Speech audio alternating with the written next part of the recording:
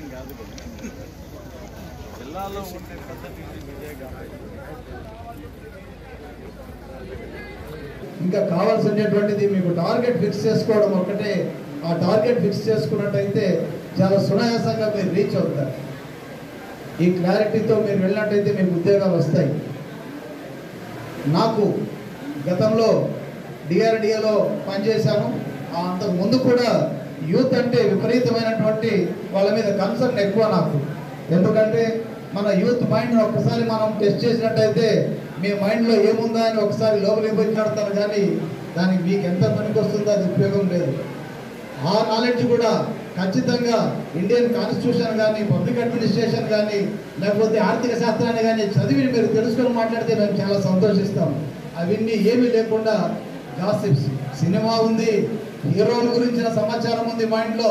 Gossips ఉన్నాయి తప్ప నేను చెప్పినటువంటి నాలెడ్జ్ కానీ స్కిల్కి సంబంధించినటువంటి మైండ్లో మెమరీలో చాలా తక్కువ స్పేస్ మాత్రమే కేటాయించారు. మార్పు చేయగలుగుతాం.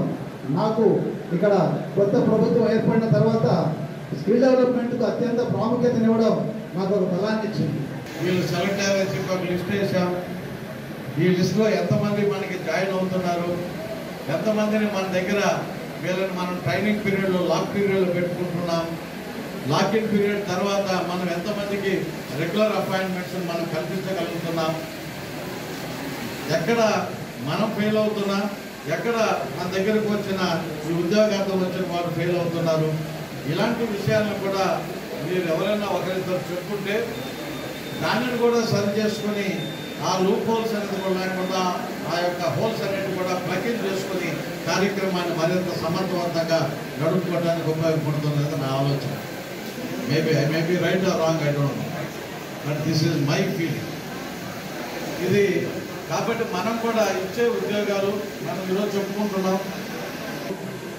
మీకున్న రిక్వైర్మెంట్ బట్టి. దీంట్లో మనకి భర్తీ అయిన తర్వాత మనం ఎంతమందిని మన కంపెనీల్లో కానీ మన సంస్థల్లో కానీ మనం శాశ్వతంగా ఉంచుకోగలుగుతున్నాం.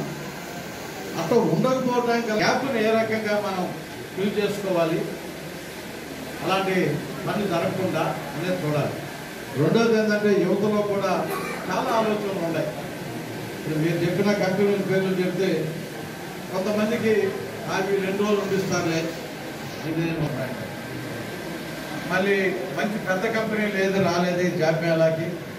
ప్రభుత్వ పరంగా నిర్వహించే జాబ్ మేళాలకి రారేమో ప్రైవేట్ వాళ్ళు నిర్వహించే జాబ్ మేళాస్ మాత్రమే ఈ పెద్ద కంపెనీలు అటెండ్ అవుతాయేమో అనే ఒక అపోహ కూడా దోహదిస్తాం అది అది ఏ రకమైన అపోహ ఉన్నా ఈ ప్రభుత్వ పరంగా ఏర్పాటు చేస్తున్న జాబ్ మేళాలకి సహకరిస్తున్న మీకు మాత్రం ప్రభుత్వ పరంగా సంపూర్ణంగా మాకు మా హృదయపూర్వక ధన్యవాదాలు మేము చెప్పుకుంటాము ఈ రోజు ప్రభుత్వ పరంగా ప్రభుత్వ కళాశాలలో చదువుకుంటున్న విద్యార్థిని విద్యార్థులకు సంబంధించిన భౌతికి భవిష్యత్తుకి ఒక నాంది పలికేదానికి ఎందుకు రావడం లేదనేది అందరూ కూడా ఆలోచించాల్సిన విషయం ఇది. కాస్త ఇబ్బందికరంగానే ఉంది బాధాకరంగా కూడా ఉంది.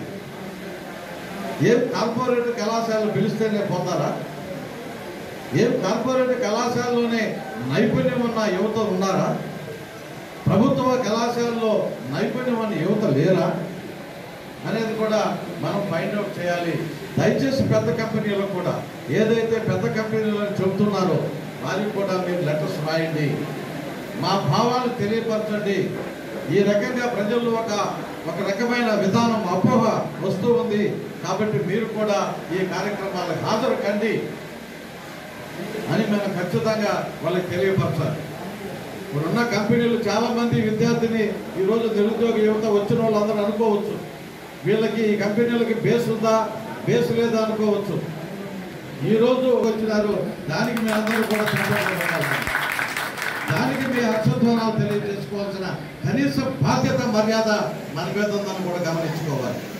ఈరోజు ఆ కంపెనీల యొక్క బేస్ అనేది రేపు మీరు చేసే బేసిక్ ఇవన్నీ కూడా ఇంటర్లింక్డ్వి మిగతా కంపెనీస్ కూడా ఎందుకు సహకరించరో మీరు సార్ అడగండి. వారు చెప్పే కారణాలు ఏ రకమైన కారణాలు ఉన్నాయో ఏ రకంగా వాళ్ళు కోరుకుంటున్నారో ఆ దిశగా మీరు కూడా ట్రైనింగ్ని ఏర్పాటు చేయమని చెప్పి మరి సమయం చాలా అయిపోయింది. ఇంకెంతకన్నా ఎక్కువ సమయం కూడా తీసుకోను. మరి ఒకసారి వచ్చిన ప్రతి ఒక్కరికి కూడా కంపెనీ నుంచి వచ్చిన హెచ్ఆర్లు కానివ్వండి ప్రతినిధులు కానివ్వండి అలాగే ఉద్యోగ అవకాశాల కోసం ఈరోజు వచ్చిన అందరికీ కూడా సాయినాథుని ఆశీస్